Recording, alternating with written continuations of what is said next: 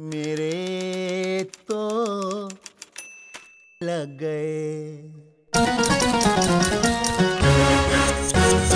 क्या नाम क्या बताया आपने? जी जगदीश त्यागी जी। जॉली जॉली कहते हैं मुझे। हाँ कहाँ से एलएलबी की आपने? जी लॉ कॉलेज मेरठ। ये पीआईएल डाल दिया आपने हैं? अपील को एप्पल लिख रखा है इसके अंदर। प्रोसिक्यूशन को प्रोस्टिट्यूशन लिख रखा है। मैडम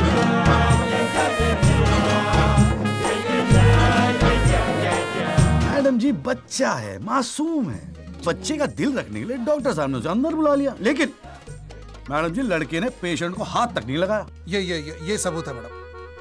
ये क्या? बहुत बड़ी गलती होगी मेरे से जो तेरे जैसा झंडू वकील कर लिया मैंने। अरे सबको स्ट्रगल करना पड़ता है यार तो इकलौता नहीं है। आज तक तो किस भी नहीं करने दिया तूने मुझे। करने दूँगी भी नहीं बाप का माल है। मुझे इंडिया का सबसे बड़ा वकील बनना है। Famous respected you know media जिसके आगे पीछे लेफ़्ट राइट दौड़ती रहे। जब कोर्ट रूम में घुसे ना तो हल्ला मच जाना चाहिए।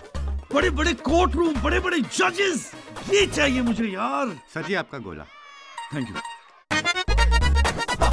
Case ही नहीं हुजूर। The only case is the victimization of my innocent client, Rahul Diwan Jagdish Tyagi उर्फ़ Jolly ने अब कोर्ट में एक एफिडेविट देकर सनसनी फैला दी है। थिंक प्रैक्टिकल यार। प्रैक्टिकलिटी गई गधी के पिछवाड़े में। मुझे तो बस अभी लड़ना है। दो कौड़ी के वकील। क्या कर लोगे तुम? मेरठ का हूँ। अपनी औकात पे आ गया ना तो का गुड़गांव बना दूँगा।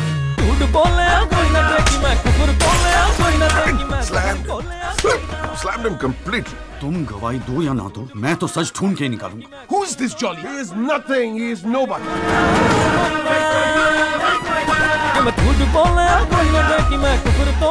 ए अल्लाह मचाना मत कान के नीचे खींच के दूँगा ना अगली सात मुझसे तेरी साली बहरी पैदा होंगी। बस। आप इसको बोलिए। जनाब इसको मैं यही पीटूँगा मैं बोल रहा हूँ। चुप रहेगा नहीं रहेगा। तेरी औकात। अरे बस करो बस करो।